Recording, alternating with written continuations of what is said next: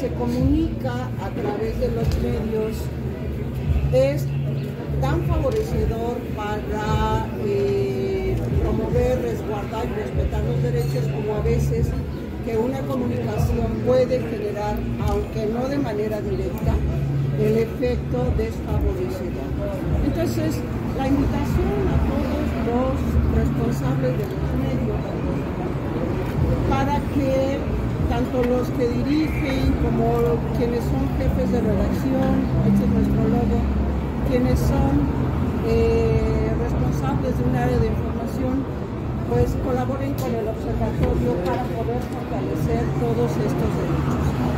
Como el nombre lo dice, somos un observatorio que dice, María Rosa, ¿cómo dice?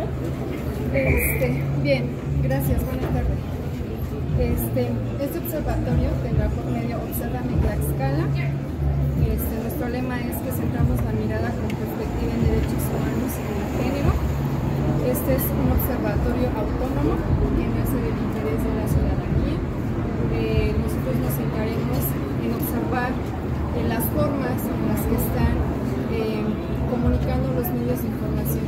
Es decir, que tenga una perspectiva de género y que se enfoque en derechos humanos con la